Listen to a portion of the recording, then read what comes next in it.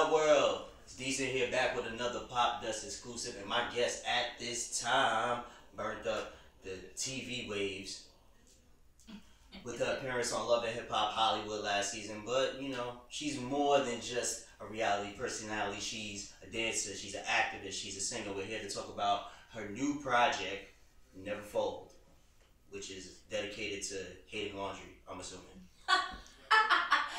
I hate laundry. I'm not gonna lie to you, but the project is not talking about laundry. Oh, oh. But I do hate folding laundry. well, there we go, ladies and gentlemen. Give it up for La'Britney. Woo! What up, though? What's good with you? She said, "What up, though? You know where she from, right? Three one three. What's going on? Day toi.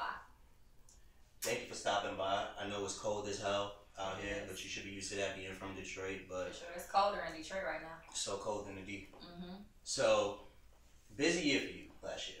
Yes. Very busy year. Love and hip hop. We had the vintage, Mm-hmm. and now we got Never Fold. Mm-hmm. Um, I toured after Love and Hip Hop with Aaron Ray. Yeah. It was a really productive year last year. right. Um, video with Cash Doll almost had a million views. Yeah, acting funny. Dope song, by the way. So. Thank you.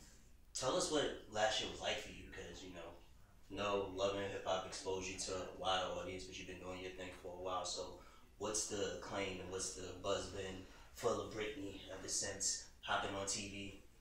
Um, well, the TV show definitely like opened up my audience. Now I, I can't really go too many places without people like, what's your name? You Lil Britney? Is that Lil Britney from Love and Hip Hop? You know, it's like they're everywhere now.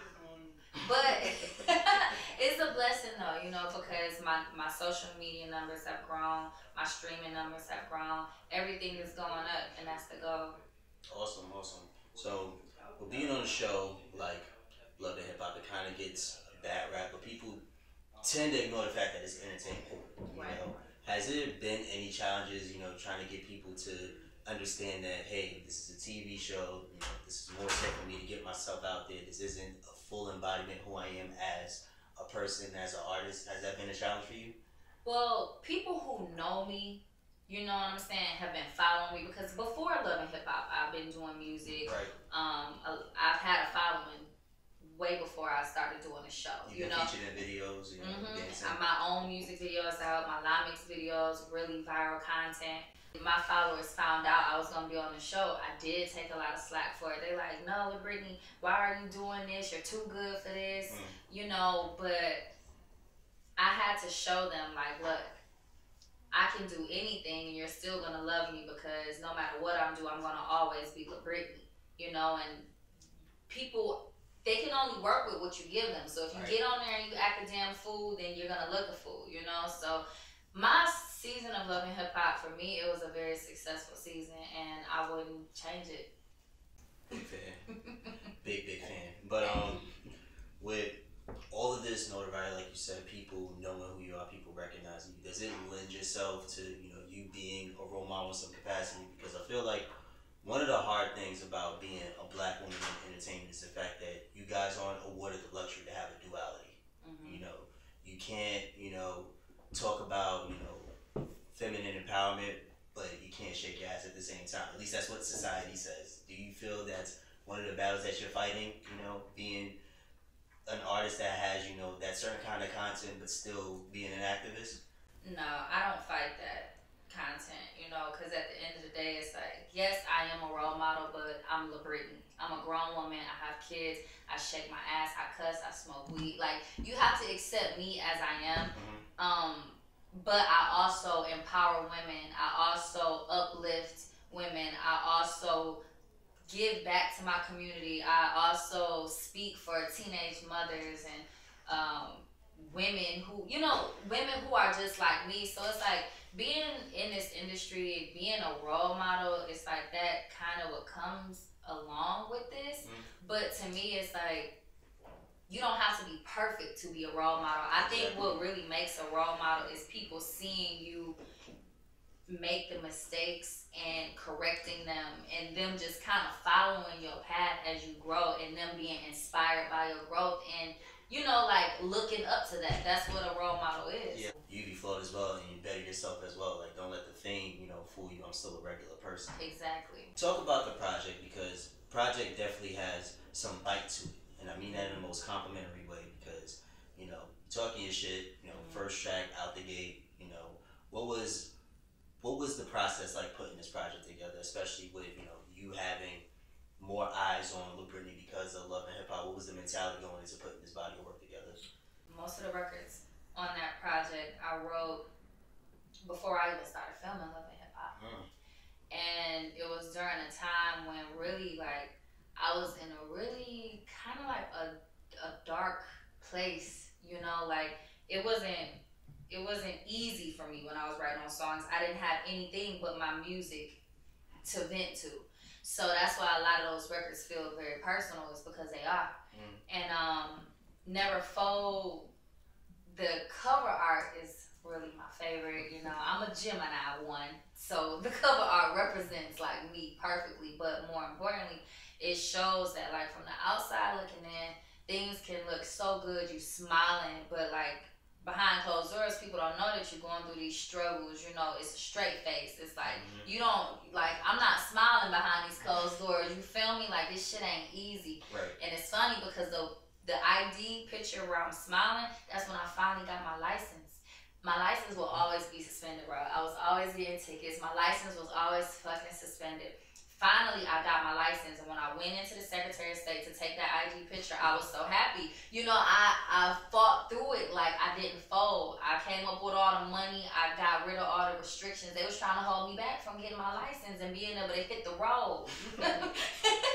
but I got that shit done. I know. So never fold. This is definitely like a project that mean a lot to me, and I, what I'm seeing the feedback from La Nation is it is motivating to them. The music, the songs motivates them. It inspires them, you know, and I'm grateful because when I wrote the music, I was pouring my heart and telling my true story into those songs. Definitely. So to kind of touch on, you know, you know, this fan base and this legion of fans that follow you, what's it like, you know, kind of sort of having, you know, a core group follow you, you know, through ups and downs, through trials and tribulations, like, and how does that motivate you to, you know, do more as not just a personality, but, you know, as an artist and, you know, just a black woman in general? you know, they put the pressure on me. they put the pressure on me. You know, it's like a blessing though, because as an independent artist, I've been able to grow this core audience. You mm-hmm. know, so it's people that I know really rock with who I am, La'Britney. It's regardless, you know, they love everything that I do and they're gonna support everything that I do. And when it get tough for me and I wanna say forget it all, you know, it's like I can't because these people are rooting for me. Like they are they really are looking for my next move. You know what I'm saying? They're really inspired by the things that I do. And so really it's a blessing, you know, because I do this I'm an independent artist. I don't have no label, you know, spewing millions of dollars into me. So to be able to have a core audience that's going to support my music, that's going to tune in to the things that I'm doing. I mean, you know, La Nation, what up though? Like y'all hold me down, I hold y'all down. That's what it's all about. So, once again, huge year last year. What's on the horizon for 2019? Mm, so I'm working on the music. Um, I'll be hitting the road again, touring again. That experience was really a dope experience. It was so cool to be able to go from state to state Mm-hmm. and all these people knew my music. They were all fans. You know, it, it was inspiring because it's like, man, this shit started in the basement of my apartment. And now to be able to literally like travel the world doing what I love to do and the people love it too, it's such a such a beautiful feeling. So this year, it's like I'm I'm doing the same thing I've been doing for the last eight years. We just gonna do it even better, you know. And as far as Love and Hip Hop, I don't know. Y'all gotta tune in to see. But you know, oh yeah, no sex all 2019. Are you talking to me? Or that's you? That's you It's a that- challenge. Are you gonna join it? or is it too late? Listen, listen. I live with a black woman, so. So I'm gonna say, Mm, I want you to go tell her that that's the way we on for the rest of the year. See how she I mean, responds. if y'all, y'all, y'all got your little thing going. I mean, I'm No. just saying, you know, I don't want, you know, if you are gonna be back on Love and Hip Hop for us to be watching it and your face pop up and then she gonna throw something at the TV because you, she ain't got none. yeah, it's like damn Lil Britney. But no, yeah, 2019. Last year, um, it was an amazing year for me. It was life changing. So 2019, I'm I'm totally like it's starting to break. Look, I'm here with you. Like your stuff great as well. She's here with me. But Brittany, thank you so much for stopping by. Where can people find you out on social media? Um, you guys can follow me on Instagram, Twitter, Facebook, YouTube, all that. It's LaBritney, L A B R I T N E Y underscore. Make sure y'all check out my new EP, Never Fold, streaming everywhere iTunes, Tidal, Spotify, all those good places. And I just dropped this bomb ass lipstick. You see me wearing it. It's called Ooh La La. Mm-hmm. It's on my Instagram page too. So yeah, I got a lot of dope things you guys can get into. So get into it.